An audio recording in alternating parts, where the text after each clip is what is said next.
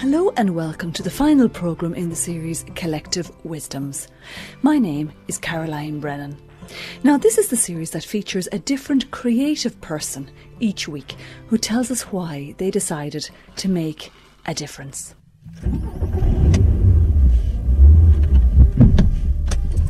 Now, this week I have made my way to the southeast of County Down to a wonderful isolated spot where I'm nestled between the Irish Sea and the Mourne Mountains. And if I concentrate very carefully, I actually can see the Isle of Man and the mountains of Cumbria in the distance. It's a beautiful place. But who lives here? Well, that's the question. Well, my guest this week is a writer, a painter, a philosopher, and indeed a poet. And his name? It's Anthony Weir. I would classify myself as a typical Irish eccentric, or perhaps English eccentric, or Anglo Irish eccentric. I have cho- elected to live on the outside of society financially, economically, and to look from the outside in and be rather glad that I'm not in. And I chose this house about 25 years ago when I was looking for somewhere cheap to live. And uh, I had never had any money in my life, uh, so I put an ad in a local paper asking for people who had ruins to let. And uh, I found this very nice house, which wasn't exactly a ruin, but had been rather badly treated by the previous tenants. So I moved in, and it was at that time five pounds a week. And uh, now, in fact, it's even cheaper. Unfortunately, I need a car and I really don't approve of cars. I think the internal combustion engine was one of the greatest disasters of all time. But unfortunately, we're trapped into this uh, e- economic uh, and, I suppose, cultural cycle of, of having to be near, having to be able to get to places.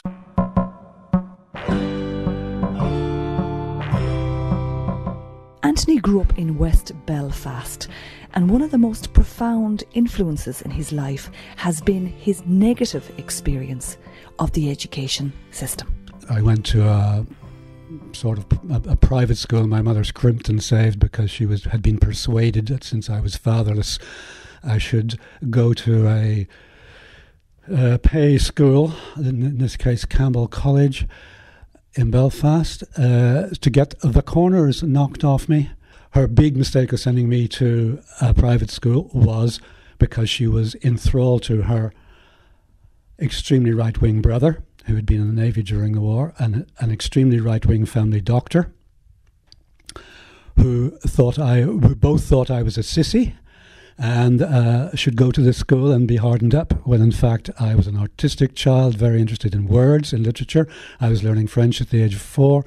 I was o- uh, always interested in, in, in language and in nature, in flowers. I always learned the n- names of flowers. I started learning the names of Lat- uh, Latin names of plants very early.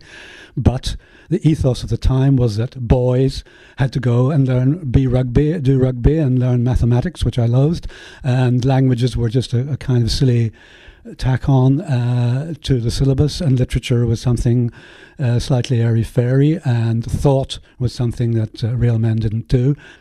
Uh, wrapped over the knuckles for being left-handed, and forced to write with my right hand, which means means it meant that I uh, learned very late. I mean, I still don't, don't write very well, but I was a very bad writer.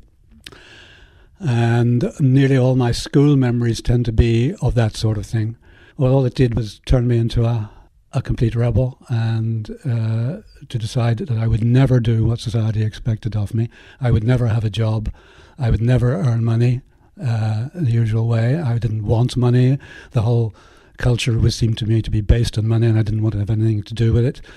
So sending me to a private school was uh, a disaster, and a very expensive disaster for my mother because she had to pay shell all this money out for an extremely bad education, with very very bad teaching, uh, because I only became a real human being once I left school.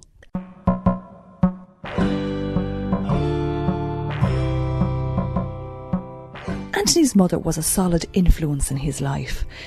But what about his dad? I let him explain. I never missed a father. And I don't understand how anybody, how any children do. Um, because my mother was quite, she was quite determined. She was in control of her own life. She was uh, a primary school teacher. She had that job. It was uh, security. She lived with her sister, also unmarried, and up to 1953 with her mother.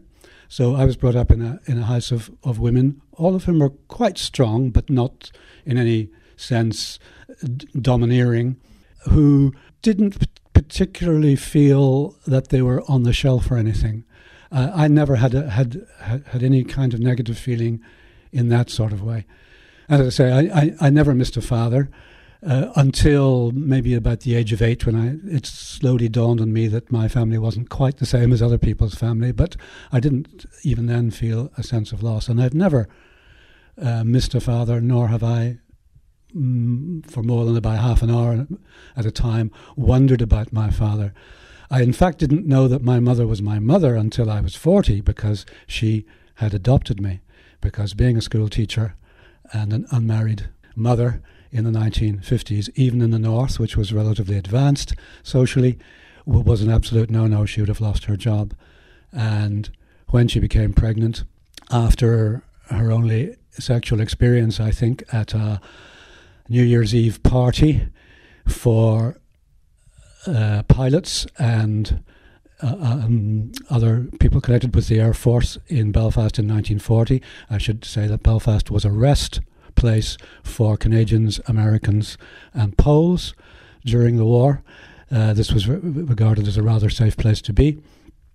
Uh, so there would have been quite a lot of people, and I guess she got knocked up, as the expression is, at that party. Then rather late in the day discovered she was pregnant. All this I didn't discover till I was 40 and confronted her with it because I had previously confronted her with uh, my ch- sort of change to, uh, in sexuality myself. I decided I was uh, more interested in men than women.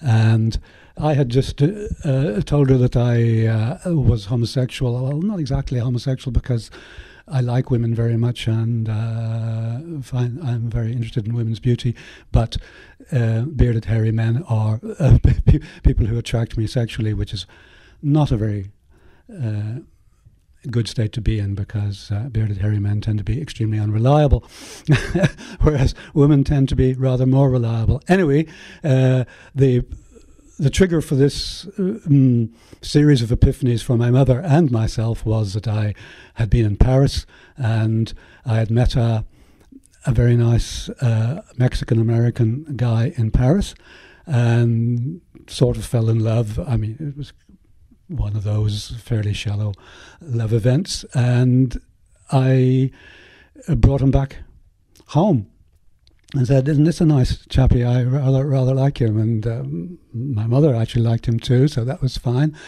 And shortly after that, um, she decided to tell me that uh, she was actually my mother. Anyway, she had to wangle a trip to England during the war because you needed a passport and special papers to get to England from Ireland, from even Northern Ireland during the war. So she managed to get uh, a doctor's certificate saying she had some rare disease to go to England, and then she went to uh, a kind of, I suppose, half baby farm, half workhouse in Berkshire, uh, and eventually had me and had intended to have me adopted, but then couldn't get rid of me. Uh, uh, decided she couldn't part with me, I should say, and uh, left me at the baby farm.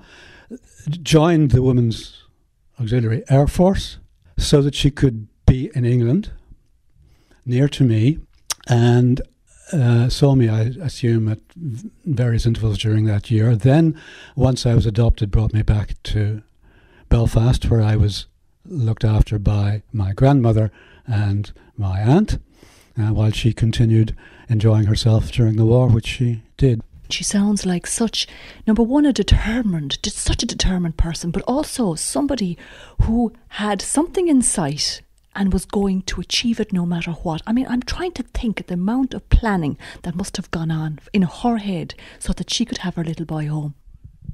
Yes, this was a remarkable thing, uh, but it was also uh, her family.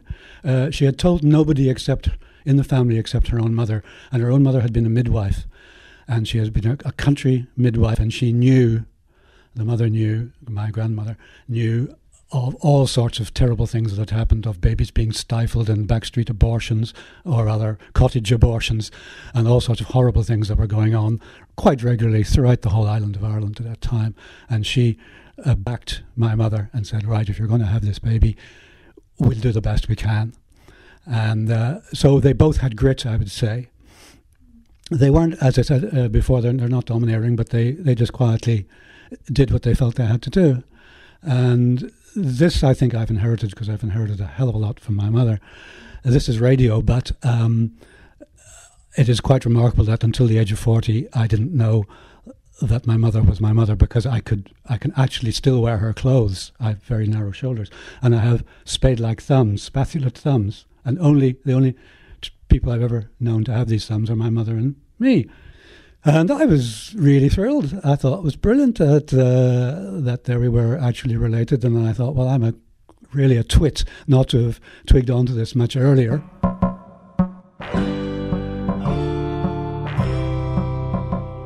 Anthony says he is a thinker with a capital T.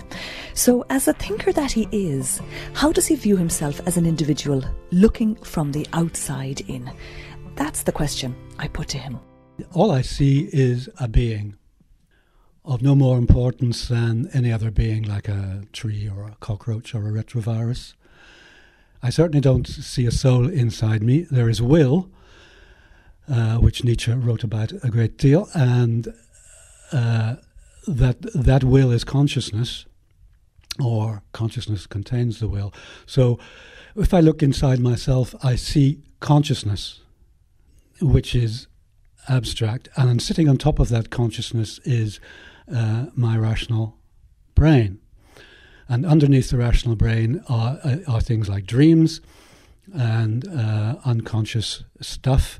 Dreams are kind of detritus, very, very largely and then there's memories and all sorts of other things that uh, uh, are in the porridge of subconsciousness. A little while ago, you mentioned about memories and that you didn't actually think they were good things. Memories are not good things. Explain that. I think that memories are, are fine so long as you don't think they're important. Uh, I remember very little of my life because i I tend to live in the moment. And people who think a lot about memory uh, tend to live in the past. They, they suffer from nostalgia, which the Greeks regarded as a serious disease.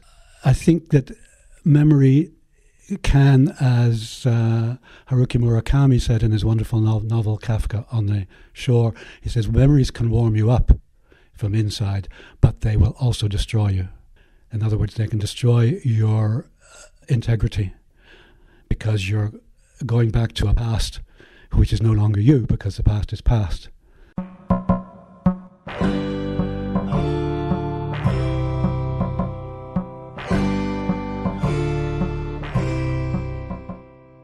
Amongst many of his extreme views, Anthony Weir holds a strong opinion on procreation.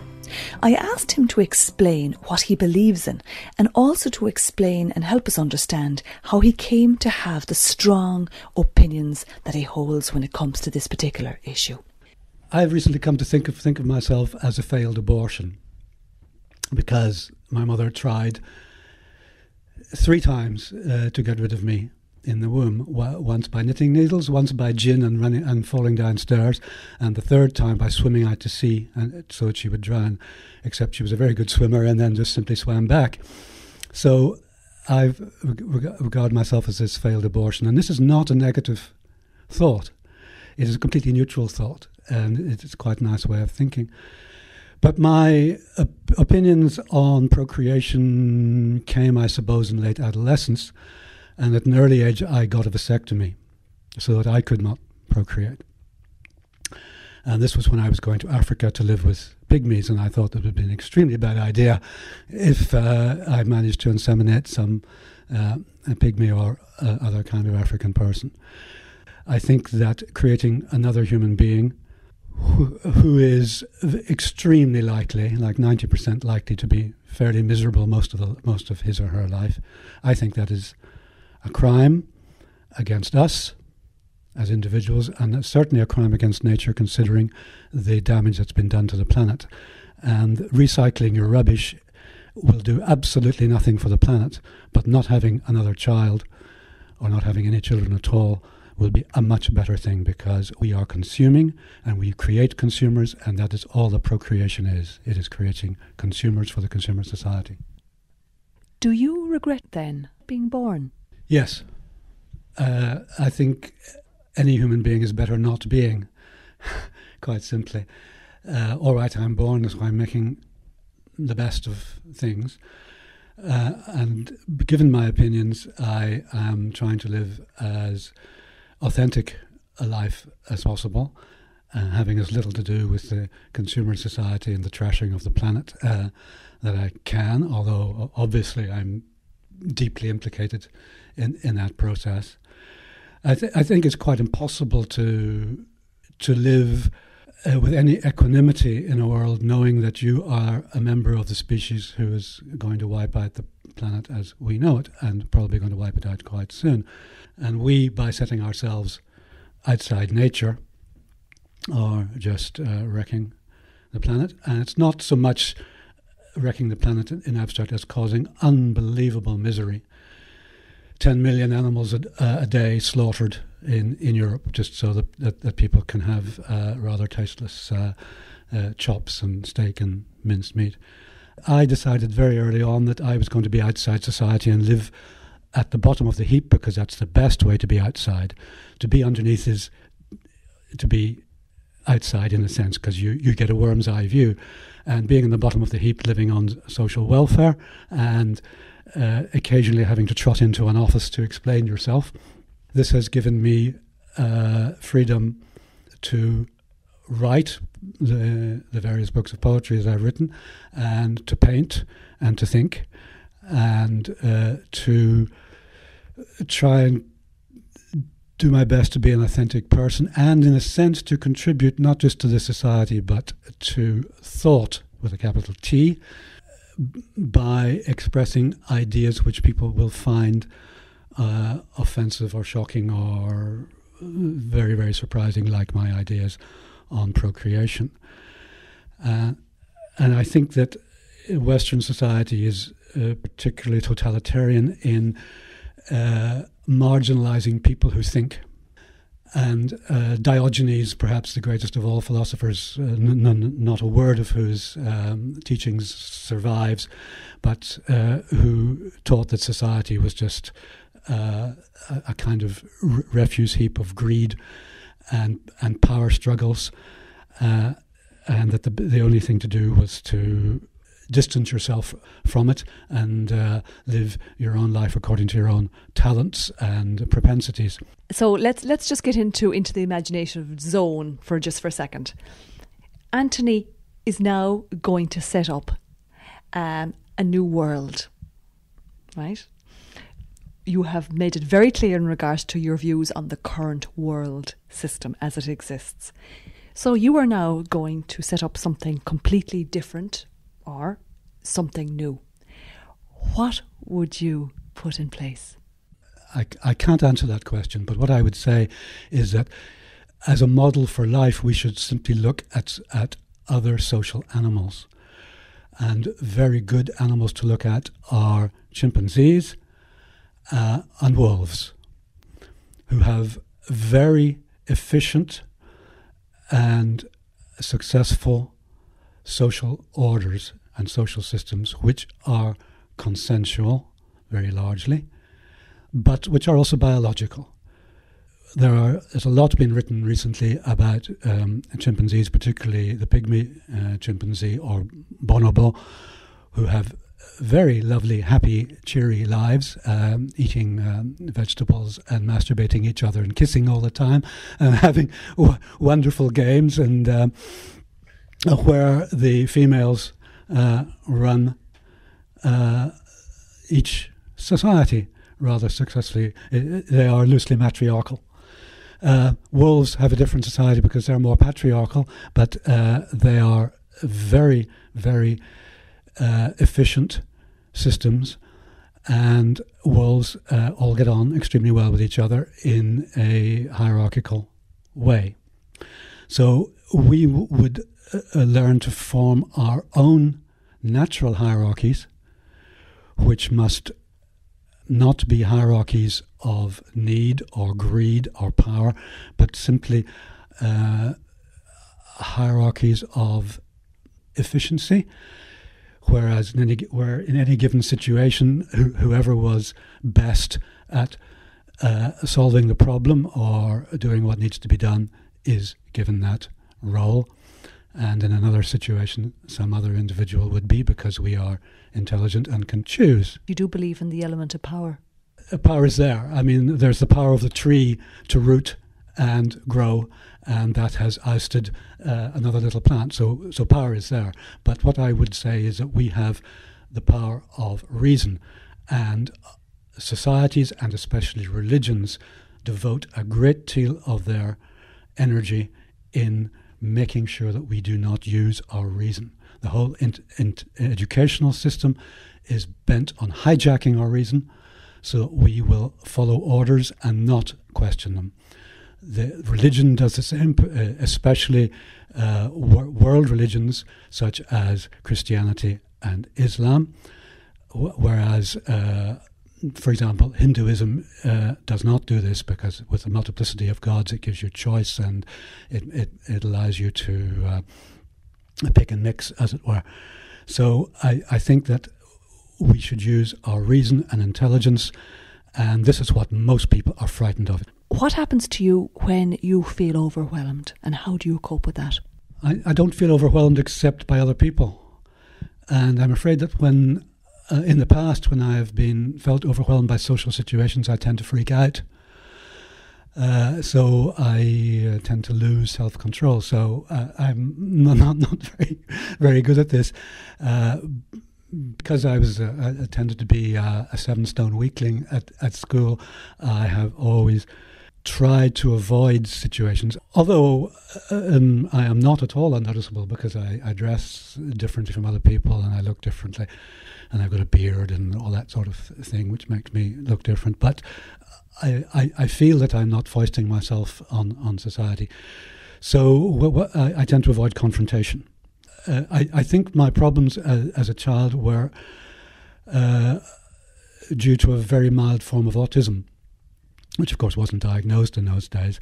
And I relate very, very much to uh, people with Asperger's and autism. I understand exactly how they feel in social situations. I, uh, and although I'm quite good or can be quite good socially, I just I know exactly what it takes to uh, play the extremely complicated game of tennis. I understand how difficult it is to fit into society, and it is getting more and more difficult because we're living in a society which is driven now by uh, all sorts of processes which run from credit card number uh, remembering and uh, bank accounts and censuses and filling in forms and getting up at seven in the morning so that you can be at work at nine when half the world are not morning people and really should not be getting up till 11 o'clock and going into work at two and maybe working till 10 if they want to. Uh, we live in a society which is actually set to make people feel oppressed and confronted at almost every turn. And uh, all, all. Uh, get uh, this early on in life, and in a sense are very lucky because they they immediately opt out at the first hurdle. They collapse. And in the old days, they were shipped off into uh, asylums and so forth, but now they are getting, we hope, uh, sympathetic uh, treatment and can sidle into society eventually on their own terms, which they weren't allowed to do before. But normals, in inverted commas, in other words, people who aren't picked up as having problems, although they may have severe problems, uh, aren't. And I would think that most people are, feel very uneasy in, in society and are just muddling through from day to day. And uh, they seek, particularly in northern countries, to drown their problems and anxieties in drink or to numb them by watching television uh, or other strategies which do not involve thought, when in fact the one thing that we have which is really good and really powerful is the power of thought and the power of reason. And the one thing that we are not taught in school is logic. There is a very good reason for this. Governments would hate us to think logically because we would get rid of them very quickly. I'm wondering, Anthony, as to whether do you ever feel very misunderstood? I don't feel misunderstood because I don't expect anyone to understand me. And I really don't expect to understand other people. Uh, I try to make sense of the world, but I don't expect to understand it in a you know in a capital U. Uh, the world is completely mysterious, and people's motives. I can understand their motives, but I cannot understand why they are driven by the corrupt forces which drive people. I'm going to just finish up w- with the question of what's next for Anthony Weir. Well, I'm 65 now, and I don't feel very much different from when I was about 18, 19. I feel considerably wiser, with a rather small W there, um, and sadder. But life for me continues to be a strange kind of adventure. I have a small group of friends who I like to be with from time to time.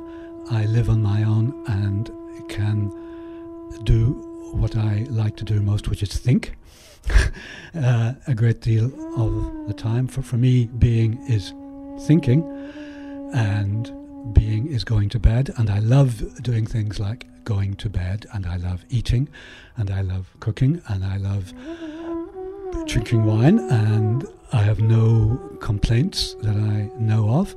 Although I may seem to have a very negative philosophy, which I would call realistic, uh, I'm actually quite a, a happy, cheery person. I look forward to getting older, and I really look forward to dying because that will be the consummation of my little life on this poor, sad, abused planet.